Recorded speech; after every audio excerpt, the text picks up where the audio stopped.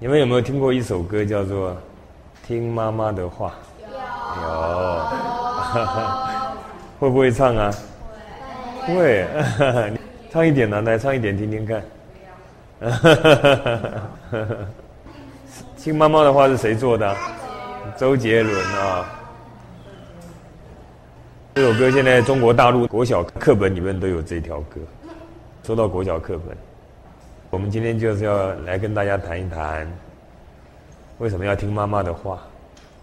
周杰伦他他是单亲家庭哦，他妈妈单独抚养他长大，可他因为他听妈妈的话，所以今天变成什么天王是不是？所以原因很简单啊，因为他听妈妈的话。我们说这么简单吗？啊，事实上是这样子哦。啊，自古以来有很多成功者哦，能力。还有他的家世、学历都很普通，可是因为孝顺，所以成就非凡。因为孝顺的人会得到天神的赐福，天上仙佛菩萨很多啊，地上的人也很多。仙佛菩萨要怎么样判断，说这个人值不值得我去帮助他走向成功之路？他要怎么判断，知道吗？就判断你孝顺不孝顺。好像这棵树，我要不要让它成长成为大树？还是觉得这棵树不好，把它拔掉算了？关键就在他孝不孝顺。我讲一个故事给你们听，这是真实故事哦。很久以前，有一个樵夫啊，樵夫就是什么砍柴的，是不是？很穷啊，他就连地都没有啊，连田地都没有，要砍柴到山里面去砍柴来卖。有一次下大雨哦，他就穿着雨衣，以前的雨衣叫做蓑衣，你们上小学有没有听过蓑衣？树皮做的啊，叫蓑衣。他穿的这个蓑衣啊。他全身的财产也只有这件蓑衣了，然后下着大雨，他经过一个很小的庙，像那种土地公庙那种很小的庙，庙里面供着一尊佛，他那个庙破掉的雨水就打在佛的身上，他就很难过，他讲我还有雨衣可以穿呢，这个佛就直接被雨淋了，他就把这个蓑衣啊脱下来盖在这个小庙的上面，当小庙的屋顶，让这个佛呢，让这尊佛没有被雨淋到，后来他。下辈子投胎转世，他就做了皇帝，叫做梁武帝。你们有没有听过梁武帝？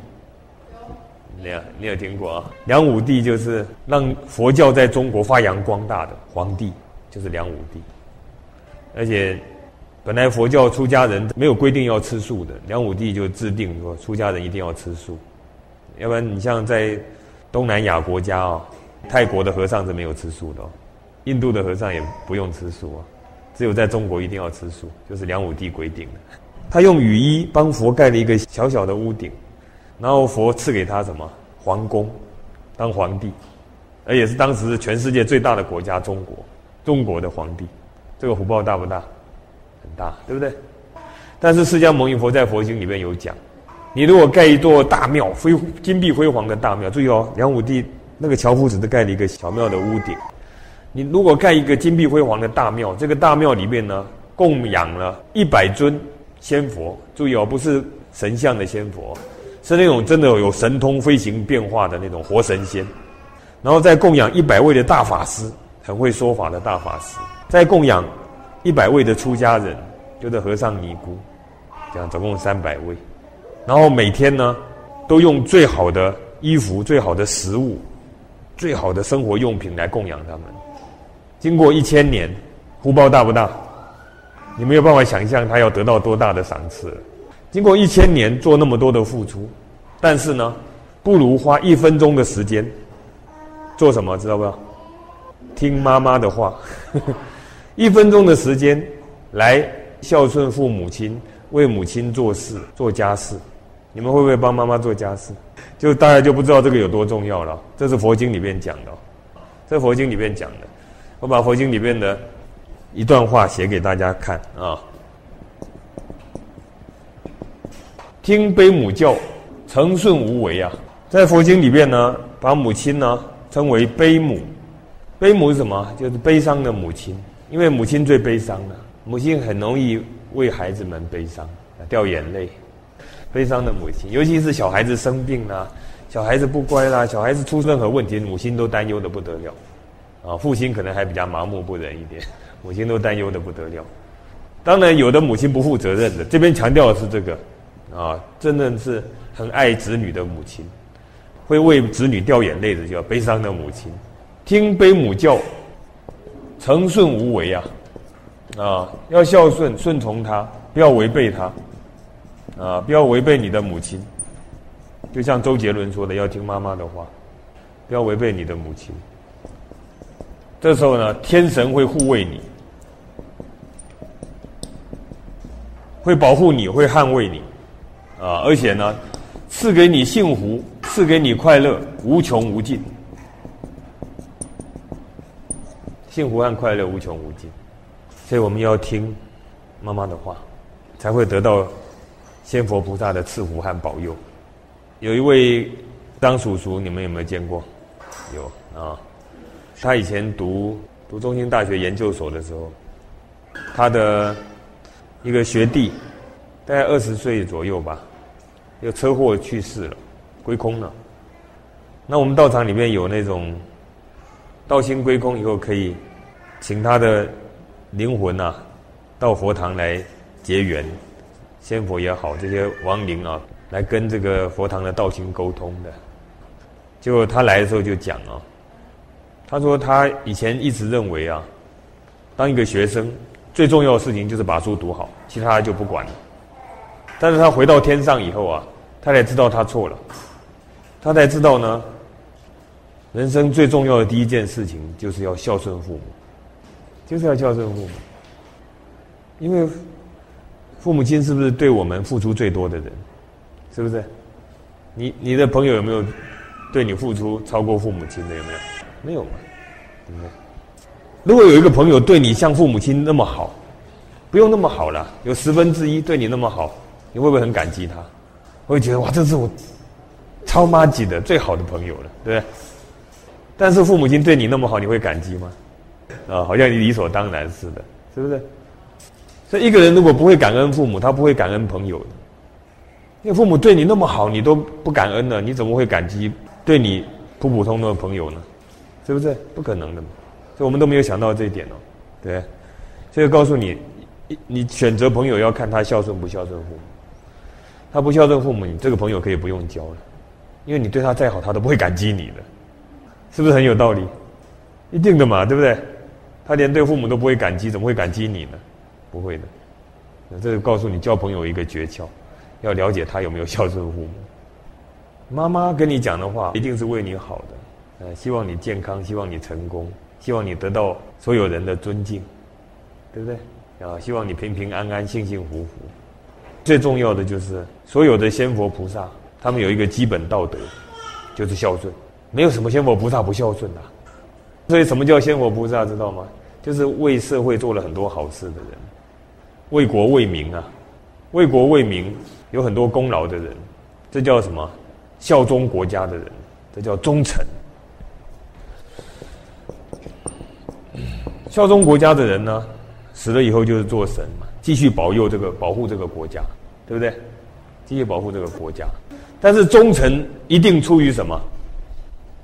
忠臣必出孝子之门啊！注意这句话，忠臣必出孝子之门。忠臣死了以后就做什么？社稷之神。什么叫社稷之神？就是保护这个国家这个土地的神仙。保护城隍、土地、妈祖，这些都是社稷之神。关圣帝君、南海古佛，这个都是社稷之神。那他们呢，在世的时候是忠臣，是孝子。忠臣一定出于孝子之门。孝顺父母的人，慢慢长大以后，千佛菩萨就会培养你，成为对社会有贡献的人。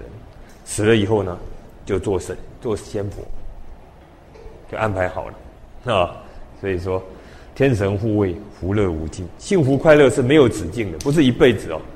因为你做了神仙以后，就是生生世世的，不是一辈子。讲到听妈妈的话，我就想起我小的时候。我小的时候，我小学我还记得是小学一年级的时候。小学一年级的时候呢，那个时候我们家啊，因为我父亲做生意啊失败了，所以那时候家里很穷，没有钱。四十几年前哦，四十几年前的时候，那时候台湾还。很落后啊！那时候中南部啊，有很多人呢离乡背井啊，跑到台北去找工作。那如果找不到工，那个工作也不容易找，找不到工作的话就流浪街头啊。我记得那天下着雨，然后有一个年轻人啊，有一个青少年呢，应该算青少年，因为他才十五六岁，说是从南部上来的，来找工作没有找到。那天下着雨，天气很冷，他肚子很饿，到我们家来要饭吃。那那个时间已经过了吃饭的时间了，就是下午的时候，然后我妈妈就是没有钱给他，赶快请他吃饭，哦，那那我妈妈就想说，他下一餐不知道在哪里，那家里也没有钱呐，那下一餐你要给他带饭吗？他最多就吃一餐，这时候我妈妈就就叫他在门口那边等，他在一个屋檐下，我到现在都还记得，四十多年了，我到现在都还记得这个景象。那年轻人在屋檐下穿的很单薄的衣服发抖，天气很冷，下着雨。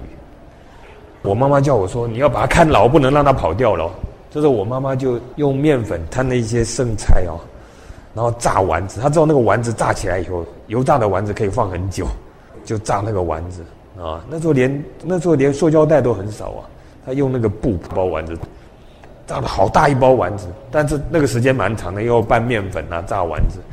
所以我就在那边看着他，他只要他离一离开那个屋檐，我就大喊：“妈妈，他要跑掉了！” 我妈妈就赶快跑出来，哎，你不要走，我再帮你炸那个丸子。我就在那边盯着他好久，等到丸子炸好，拿了一大包，他又抱着一大包丸子走掉了。啊，那包丸子大概可以吃一个礼拜，我看啊，免于饥饿嘛。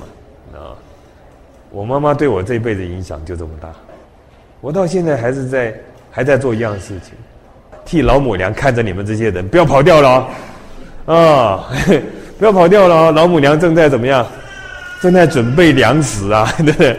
啊，在为你们每一个人准备粮食啊，准备粮食要给你们带着在人生的路上吃的，是不是？啊，永远都在做这些事情啊！我听妈妈的话，四十几年前我就听妈妈的话，就在那边看着她，不准跑。现在看着你们这一堆，盯着你们。我们能做什么？我就是盯住你们不准跑了，然后上天就在准备了。你们只要留在佛堂不走啊，上天都在准备，在为你们准备无乐无尽的粮食。就像我母亲要为这个青少年准备一个他可以带在路上用的粮食，那个还可以吃完呢。但是老母娘比我母亲伟大多了，他要为你们准备你们的粮食，精神的粮食，灵性的粮食，永远吃不完的粮食。无乐无尽的粮食，啊啊！今天先给你们吃一餐，就是要孝顺，要听妈妈的话，很简单。要怎么孝顺，就是听妈妈的话，啊，听妈妈的话，你就被仙佛菩萨纳入重点照顾，栽培你们，成为社会的栋梁，成为实习的仙佛菩萨，成为社会栋梁，将来就要做仙佛菩萨的。你们的前途就被安排好了。当你们下定决心要听妈妈的话的时候，你们的一生、你们的一辈子、你们的生生世世都已经被安排好了。你们长大以后会受到众人的尊敬，为什么？因为你们是社会的栋梁。